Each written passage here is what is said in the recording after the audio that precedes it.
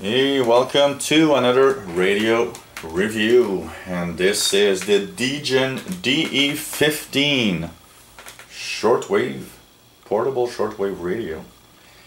So this is a small little Degen digital radio with DSP digital signal processing using a silicon chips um, I believe is a 4034 DSP chip for processing.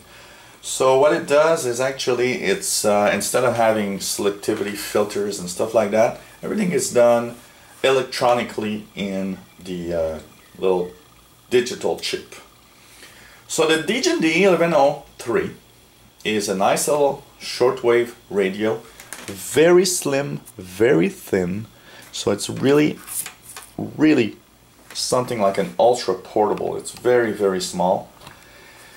And so the key features of uh, this radio is the fact that it receives um, the FM band, medium wave, short wave, and has this uh, kind of extended FM band that starts uh, much lower than the regular 88108 band. And so it's a nice little digital uh, PLL synthesized receiver. And so it has a very nice little display here. The receiver is a cool receiver. And so you can see here this is the back. It works on uh, three double uh, triple A batteries sorry. So three triple triple A batteries. And has a little reset here in the back so uh, that you can actually uh, choose. So uh, reception of the AM band from 530, 522 to 1710 kilohertz, so expanded AM band is there. FM is uh, from about 64 megahertz up to 108 in two different little bands. And shortwave is from uh, 2.3 to 23 megahertz, so it includes all international shortwave bands and all the in between, so it's not like tuning a radio that jumps from band to band, it does tune continuously from 2.3 to 23 megahertz. Um, this radio has, of course, alarm clock possibility and uh, comes with a nice little adapter for uh, charging its uh, internal batteries uh, when you put rechargeable batteries, of course.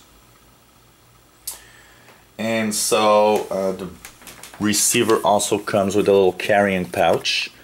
It uh, has the this you can see here the three batteries that are included with it are Degen uh, AAA rechargeables and so um, it's really cool because you can actually charge this uh, little battery uh, by the adapter itself takes about uh, four or five hours and you've got a fully charged radio and gives you uh, maybe I would say 15 to 20 hours of radio listening uh, on every charge.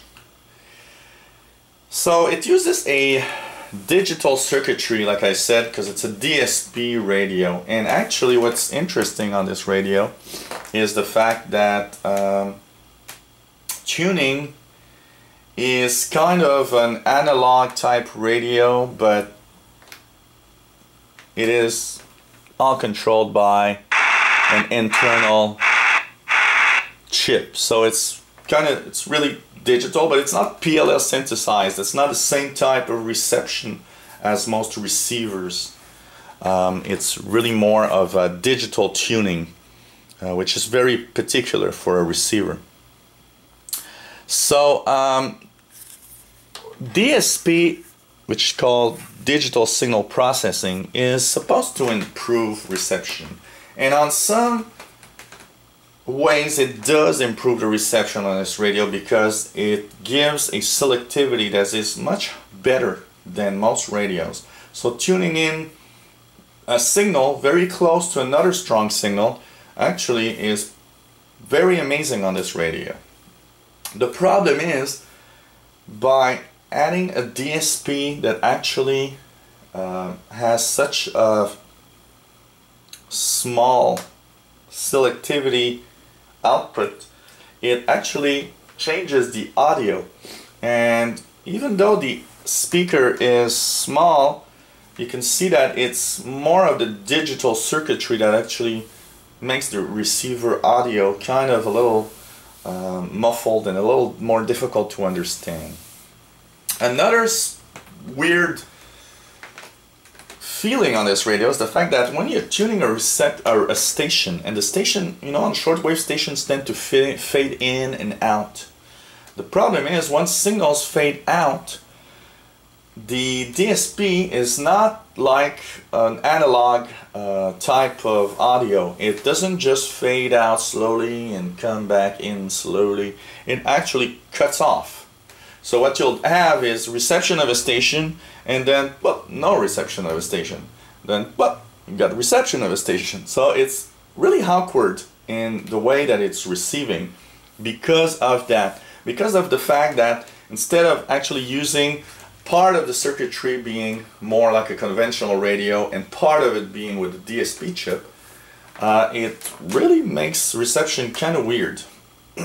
Apart from that, it's quite sensitive. This radio actually is as sensitive almost as any other receiver.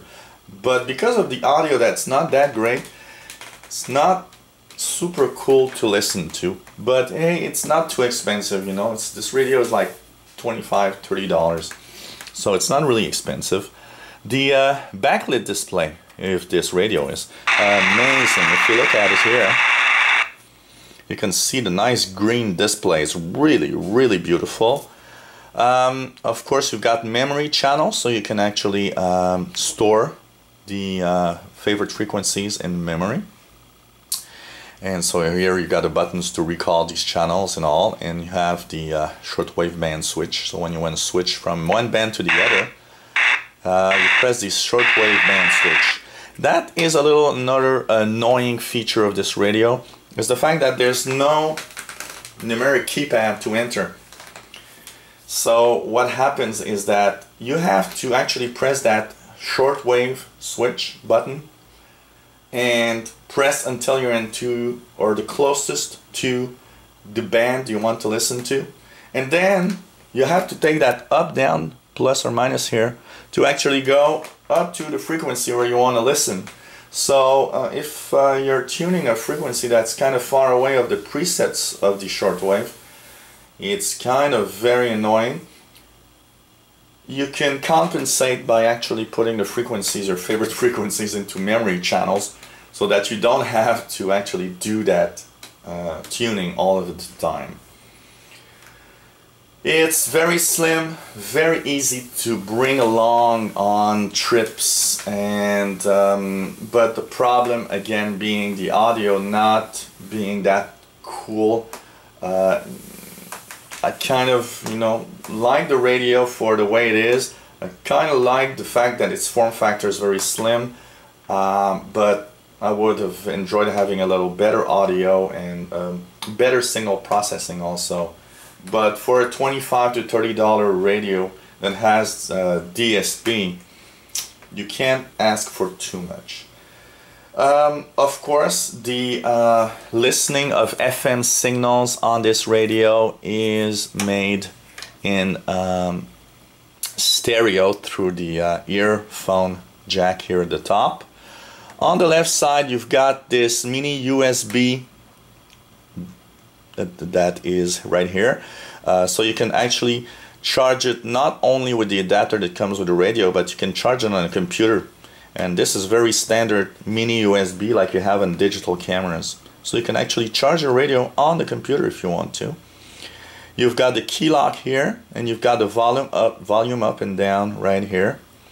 Uh, one of the key problems also with outdoor listening on this radio is the fact that the volume level is low so if you're outside your volume is always going to be at the maximum level and even then it's not necessarily strong enough if you're in a little noisy environment uh, outdoors. As for the reception conditions, well, it's sensitive on shortwave. Just with the telescopic antenna, you already pick up a lot of signals. Uh, it's sensitive on medium wave. It's an okay performer on FM, nothing special, but it's an okay performer. Of course, look at the videos. We'll have tests of all of these bands separately on videos.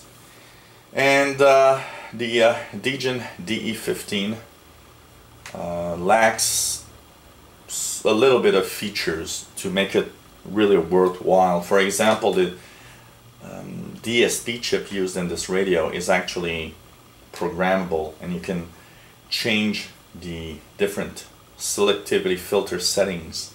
And I would have enjoyed to have at least a little button that kind of changes through the different settings so I can uh, make the filters wider if I want from time to time and the narrower if I don't want from time to time.